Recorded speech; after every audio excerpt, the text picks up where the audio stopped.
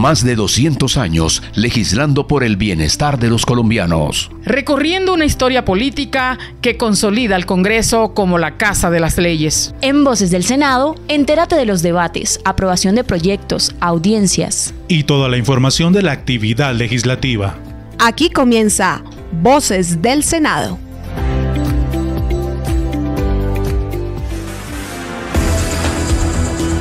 Muy buenos días, hoy es sábado 3 de diciembre del año 2022. Esta es la emisión de hoy de nuestro programa Voces del Senado a través de las 64 estaciones de la Radio Nacional de Colombia. Enrique, buenos días. Así es, Rodrigo, un saludo para usted, para todos los oyentes que nos sintonizan a través de las 64 frecuencias de Radio Nacional de Colombia.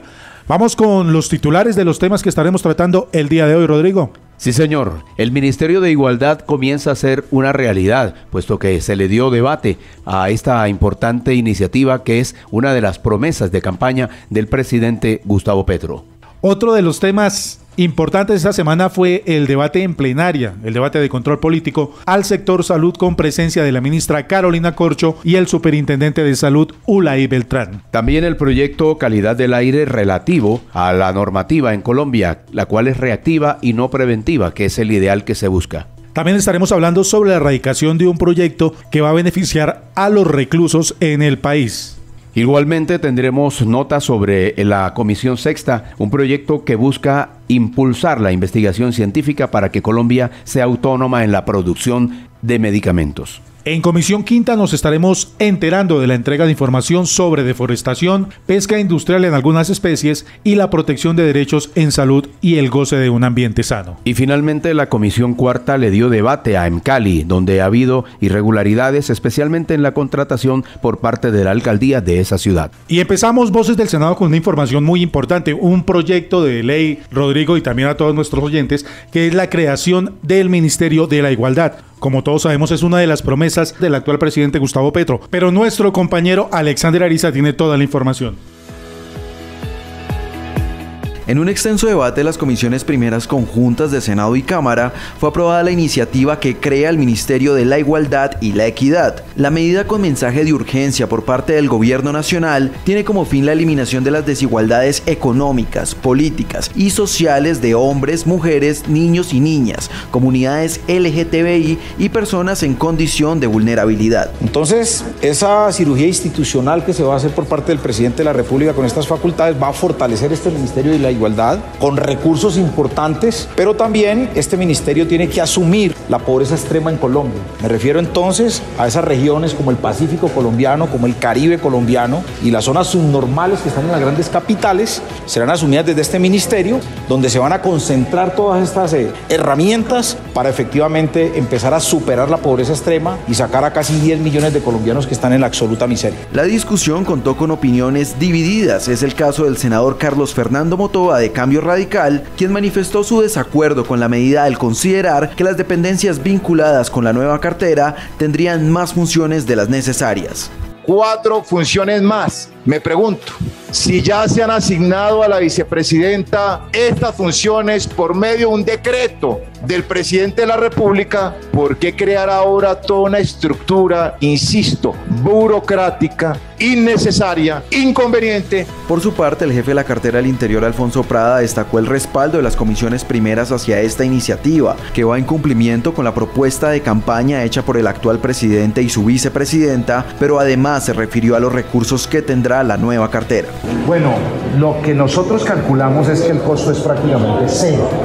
Aquí, como bien se señaló por Luz María Múnera, nos acompañó todo el tiempo la Dirección General del Presupuesto y eh, concluimos que realmente no hay parámetros para definir que esto vale uno, dos o tres billones de pesos, no, porque básicamente lo que creemos nosotros es que se va a nutrir con los presupuestos y seguramente con las, los funcionarios de otras entidades que tienen a su cargo las funciones que va a asumir el Ministerio de Igualdad. También quisimos conocer la opinión de las personas respecto a esta iniciativa de ley y esto fue lo que nos contaron. Bueno, nos encontramos con Shirley acá en la Plaza de Bolívar. Shirley, ¿usted qué ha escuchado del Ministerio de la Igualdad? Pues de lo que he escuchado es bastante importante, pienso que es un gran paso. ¿Cómo lo tomen las personas o cómo la sociedad que ahorita está en este momento lo tome es el cuestionamiento verdadero. ¿Cómo es su nombre? Jesús Marcel Solís. ¿Qué opina de la creación del Ministerio de la Igualdad? Me parece un acierto de parte del gobierno de Gustavo Petro y Francia Márquez, porque eh, a Colombia le hace falta eh, seguir fortaleciendo el proceso de igualdad.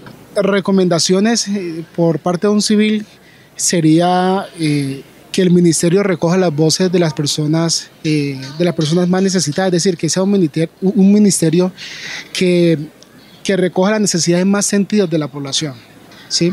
Y que, no sea un, y, que, y que no sea un ministerio que esté alejado de la realidad que viven muchos.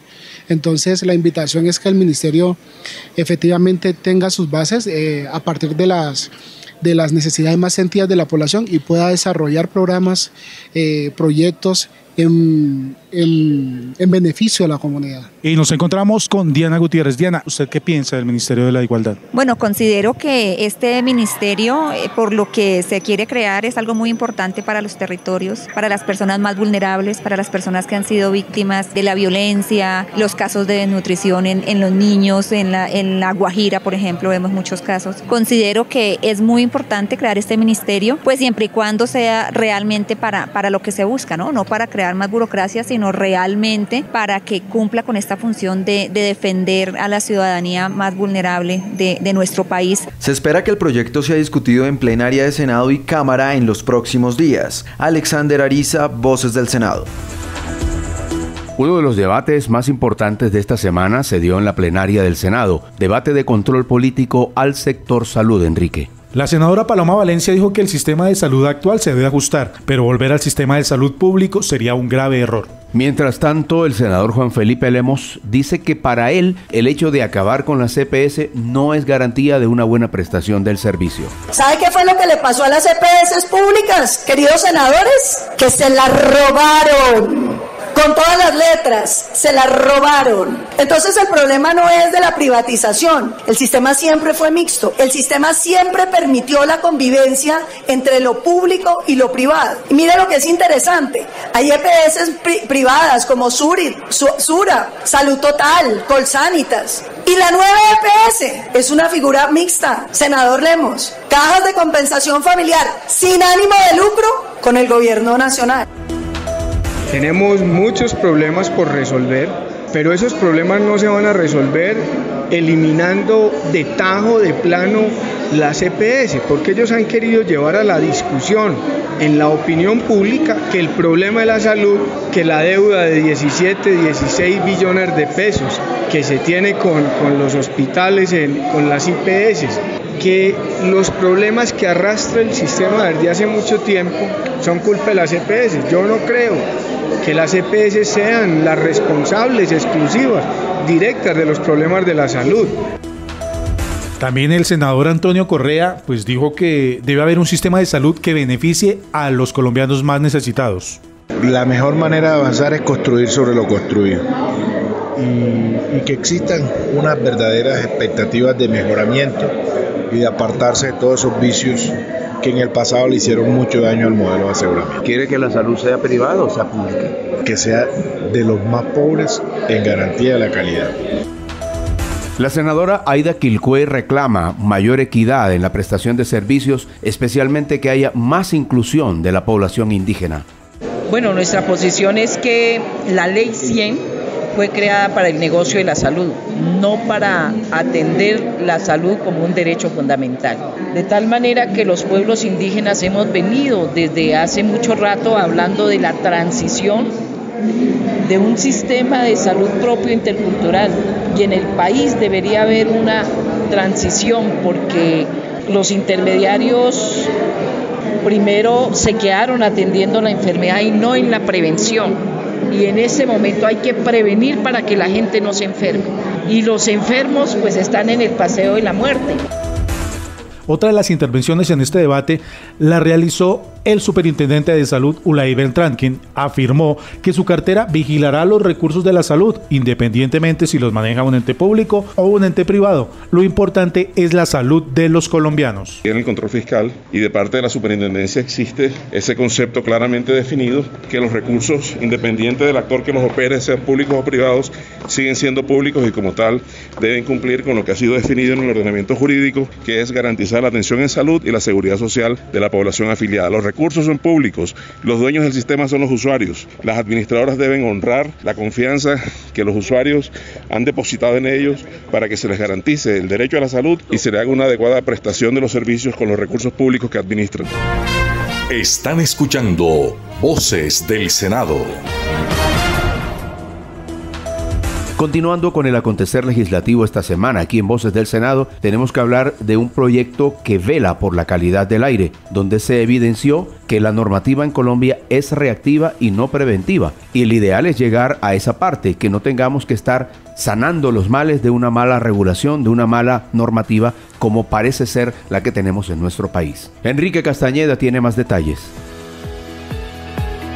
En la Comisión Séptima se aprobó el proyecto de ley que busca proteger el derecho a la salud, ajustando la regulación mínima sobre la calidad del aire en lo relacionado al material particulado, como es el ozono, el dióxido de carbono, el dióxido de nitrógeno y el dióxido de azufre. La ponente Marta Peralta dijo que el Ministerio de Medio Ambiente será el encargado de medir la calidad del aire y así prevenir enfermedades e infecciones respiratorias, también como el cáncer, accidentes cerebrovasculares y diabetes, entre otras. La norma colombiana actualmente actúa ya es cuando ya está la contaminación y no lo hace de manera ni preventiva ni progresiva. En esta ocasión está eh, este proyecto de ley que pasó ya con ponencia positiva hoy en la Comisión Séptima. Lo que buscamos es prevenir que estos gases de efecto invernadero no lleguen a, contagiar de manera impactante la salud de los colombianos. Esto va a ser, eh, esto es una reglamentación progresiva hasta lograr que toda la población colombiana pueda eh, tener todo el cuidado y pueda tener garantizada y acceso a la información de, por ejemplo, Cerrejón eh, eh, produjo 23.4 millones de toneladas en el 2021, pero nadie supo cuántos, cuánta contaminación esto produce, cuántas enfermedades pulmonares, cuántas enfermedades que realmente no se alcanzan a ver a la simple vista porque el polvillo de lo que produce el carbón, pero también así otros, otras enfermedades y otras sustancias que no se logran percibir, sino ya cuando el ser humano está eh, totalmente afectado en su salud. Senadora, ¿cuáles serían estos canales para que la gente conociera cómo funcionaría o qué es lo que se está emitiendo? Bueno, le hemos pedido mucho al Ministerio de Educación y a otros institutos que nos ayuden en la formación eh, y con paneles, con foros sobre, eh, sobre este tipo de proyectos de ley y que la contaminación a eh, al, aire, la contaminación eh, al medio ambiente existe, pero cómo se puede empezar a controlar y cómo podemos nosotros también limitarle a las empresas cuáles serían ese tipo de compensaciones. La senadora afirmó que la normatividad colombiana en tema ambiental es reactiva, actúa solo cuando hay contaminación ambiental. Con este proyecto se pretende que sea preventiva. Además indicó que se deben controlar la emisión de gases de efecto invernadero por parte de las empresas carboníferas del país, ya que éstas no miden la cantidad de gases contaminantes que emiten, afectando a los pobladores de la región donde funcionan. Enrique Castañeda, Voces del Senado. En Secretaría General, el senador Gustavo Moreno radicó un proyecto de ley con el que busca ayudar en la resocialización de los reclusos de las diferentes cárceles. Este es un proyecto de un gran impacto social que busca precisamente eso, la resocialización del recluso, haciéndolo muy productivo y que al final de su condena tenga ahorros, también cuenta para la reducción de penas. Hoy las cárceles en el país se han convertido en un centro de delincuencia, un tema de corrupción, un foco de corrupción. Por ende, las cárceles se crean en cualquier parte del mundo es para que se resocialicen las personas que no pueden vivir en una sociedad. ¿Qué está pasando hoy en Colombia? Las cárceles no están llevando su principal rol, que es la resocialización. Hoy un privado de la libertad le vale al Estado cerca de 2 millones a 3 millones de pesos. ¿Qué queremos? Que las cárceles se vuelvan centros productivos, industrias penitenciarias como la hay en otras partes del mundo, donde ellos puedan producir, donde ellos puedan trabajar y que las cárceles en Colombia se vuelvan centros autosostenibles, que hoy es una carga para los ciudadanos y para el Estado colombiano. Por eso radicamos un proyecto que se llama Cárceles Productivas. Esto permite que los empresarios tengan una reducción en materia de impuestos, los que inviertan en una cárcel, que lleven maquinaria, que lleven su producción y que estos privados de la libertad puedan trabajar al interior. Hoy las cárceles están exentas de IVA. Lo que se produzca, un jean, una camisa, se fabrica, va a estar exenta de IVA. Dos, el tema de la renta que hoy pagan las empresas de este país tengan unas extensiones y unas reducciones si invierten en una cárcel de llevar su maquinaria. Toda maquinaria que lleven los empresarios al interior de una cárcel va a tener un descuento del 20% que esto va a permitir atractiva a los empresarios en Colombia y que inviertan en las cárceles para tener a estas personas resocializándose, trabajando y ocupadas y no delinquiendo desde un centro carcelario. Senador, el trabajo que realicen los, los personas que están resocializando, ¿tendría alguna rebaja? Sí, va a tener la reducción hoy en rebajas en penas. Hoy hay una ley donde ellos tienen por cada hora trabajada una reducción en sus días de condena, pero ¿qué pasa? Hoy no hay maquinaria, hoy no hay nada que ellos puedan hacer al interior de los centros carcelarios, incluso se pelean por ir a hacer una actividad. Esto va a permitir que estas personas puedan reducir sus penas, se resocialicen, trabajen y también tengan un pequeño ingreso, porque muchos de ellos eran cabezas de familia, madres cabezas de familia o padres cabezas de familia y que hoy dependían los hogares afuera de estos ingresos. ¿Las familias tendrían un beneficio de lo que ellos trabajen? Tendrían un ahorro. Lo que nosotros queremos es si va a pagar una condena de 10, 12 años, se le va a hacer un ahorro programado, un salario, no se les va a entregar. Cuando salgan, ellos van a tener para una microempresa o por un tema de vivienda un ahorro programado que va a ser controlado por el Estado. Senador, ¿qué tipo de actividades realizarían las personas privadas de la libertad? Le he pedido al presidente de la República que en esa reforma agraria que va a hacer de sacar adelante comprar 3 millones de hectáreas de tierras, unas hectáreas de tierras sean destinados para el tema carcelario y penitenciarios para unas colonias agrícolas, donde ellos puedan trabajar en ganadería, cacao, café, puedan trabajar en el tema de piscicultura, como lo tiene hoy la colonia agrícola de Acacías Meta, que es un modelo de cárcel en Colombia. La idea es que ese modelo y ese piloto sea replicado en los 32 departamentos de este país, dependiendo de la economía y del enfoque económico que tenga el territorio donde se va a hacer la colonia agrícola. Si quieres estar al día de toda la información legislativa, te invitamos a sintonizar por los diferentes canales de televisión el Noticiero del Senado. En la Comisión Quinta esta semana pasaron a segundo debate tres proyectos de ley. El primero, optimizar la entrega de la información sobre deforestación y lo que tiene que ver con la degradación de bosques en el país. También hubo un proyecto por medio del cual se prohíbe la pesca industrial, artesanal y deportiva de peces denominados cartilaginosos y también el aleteo. Y el tercer proyecto que se aprobó en la comisión establece la protección de los derechos de salud y también la oportunidad de gozar de un ambiente sano. El informe lo presenta Nat Wall. Buenos días compañeros. En la Comisión Quinta del Senado pasaron a segundo debate tres proyectos de ley. El primero tiene como fin optimizar la entrega de la información sobre la deforestación y la degradación de bosques en el país. La senadora Esmeralda Hernández dijo.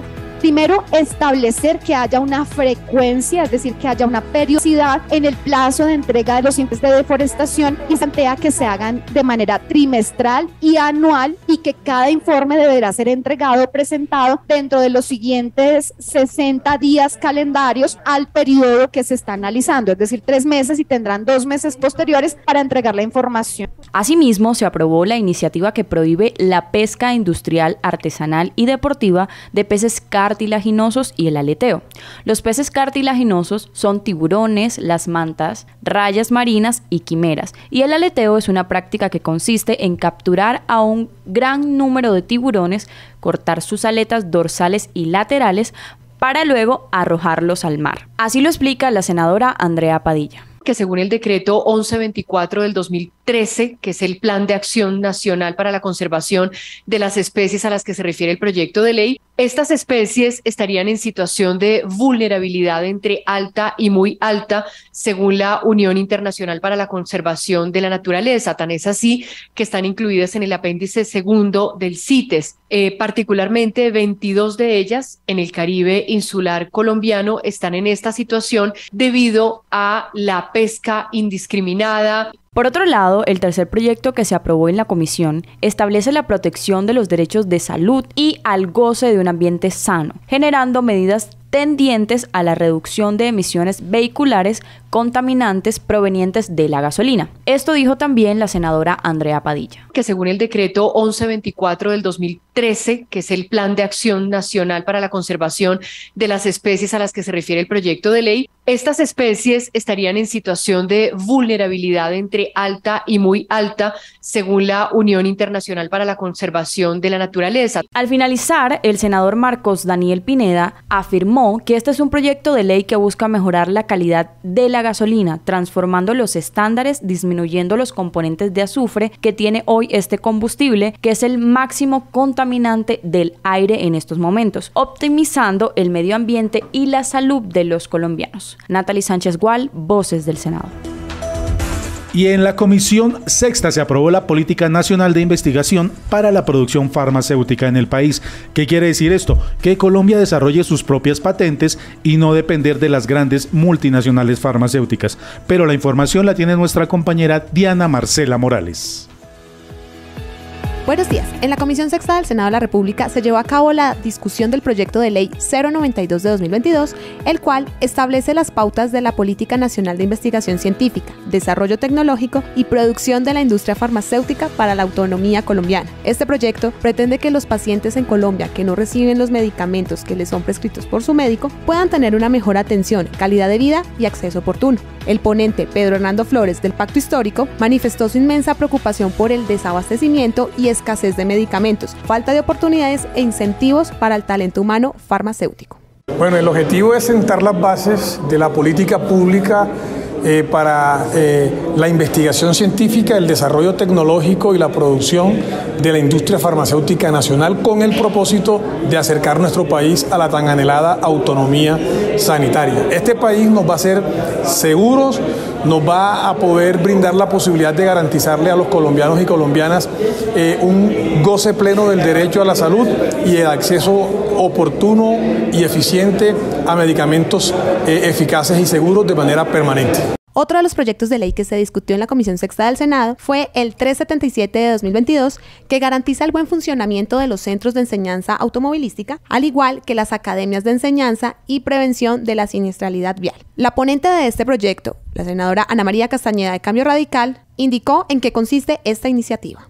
De este importante proyecto, donde se busca reglamentar la actividad de los organismos de apoyo al tránsito, garantizar el buen funcionamiento de los centros de enseñanza automovilística y también eh, mecanismos de prevención y amparo de la siniestralidad vial. Eh, el objeto principal, como les decía, es establecer una serie de prerrogativas para el desarrollo de la actividad de los organismos de apoyo al tránsito, en especial de los CDA. Diana Morales, Voces del Senado. La Comisión Cuarta desarrolló un debate de control político a la empresa de servicios públicos de Cali, en Cali, debido a las irregularidades que se han presentado en ese ente, sobre todo cuando se trata de contratación por parte de la alcaldía de la Sultana del Valle. Nuestra periodista Elfi Galeano tiene toda la información. Aquí se presenta un detrimento irreparable para el Estado colombiano que podría acercarse a 216 mil millones de pesos con unas empresas de papel que reciben el contrato y que luego lo ceden a otra empresa. Contratos hechos a la medida de estas en contra de las clases populares de la capital del Valle del Cauca. Así fue la denuncia que hizo el senador Wilson Arias de la coalición Pacto Histórico en debate de control político al interior de la Comisión Cuarta sobre los medidores. No sé qué, ahí antes estaban las famosas sillas esas que, por las que todo el mundo lloró. Pues sigan llorando más porque mire, los medidores, ¿cuántos? 100 mil. Los precios que dice la CRER, como yo no sé, estas presentaciones las hacemos a veces para torturarnos la mirada. Entonces les digo que la primera habla de 370 mil, la otra habla de 330 mil, ¿de acuerdo? De los medidores que, ¿qué dice la CRER, así allá abajo está. Son proyecciones realizadas en documentos de la CREC altamente especializada. La citación y convocatoria fue para el alcalde de la ciudad de Cali, la ministra de Minas y Energía, el presidente de Ecopetrol, Contralor General de la República, Procurador General de la Nación y el director de Planación Nacional. Estos fueron invitados para que se pronunciaran sobre la transición energética, la participación de Encali y las empresas de servicios públicos a nivel nacional. Así fue la intervención de la senadora Aida Abella. ¿Por qué las zonas petroleras, cuando uno entra a la petrolera, por ejemplo, ahí en el Meta, cuando uno entra ahí a la zona petrolera en Cumaral, pues se encuentra casi que una, una cancha de, de golf. Eso es buenísimo, ¿no? Entra uno y eso es como una cosa alucinante. Pero cuando sale a Cumaral, ya ahí en la troncal, pues no hay carreteras. Es, es dramático, como el Meta, el primer productor de petróleo en Colombia, si no me equivoco, pues realmente tienen atraso inmenso en vías. Lo único que hacemos es darle la plata al doctor Sarmiento Ángulo, pero yo creo que ya en este gobierno el pobre ya no va a tener confianza llenar. Se acordó por parte de los senadores presentes que el debate quedará abierto hasta tanto el alcalde Jorge Iván Ospina de Cali haga presencia para responder los interrogantes que aquí se presentaron. El Figaleano Villera, Voces del Senado. Síganos en Facebook y en YouTube como Senado Colombia en Twitter, Instagram como Senado GovCo, donde encontrarás el minuto a minuto de la actividad legislativa y en TikTok con un contenido más fresco. Bueno, y hasta aquí esta emisión de Voces del Senado bajo la dirección de Maritza Larrota Bernal, jefe de la Oficina de Información y Prensa del Senado de la República, con la participación de Elfi del Rosario Galeano, Rodrigo Meléndez, Natwal, Diana Morales, la producción de César Alexander Ariza y quien les habla Edgar Enrique Castañeda. Muchas gracias y los esperamos mañana domingo a partir de las 7 y 30 de la mañana por Radio Nacional de Colombia. Feliz sábado. Voces del Senado. Iniciativa de la mesa directiva en cabeza del presidente Roy Leonardo Barreras. Primer vicepresidente Miguel Ángel Pinto. Segundo vicepresidente Honorio Enrique Pinedo. El secretario general Gregorio El Hash Pacheco y la directora administrativa Astrid Salamanca Raín.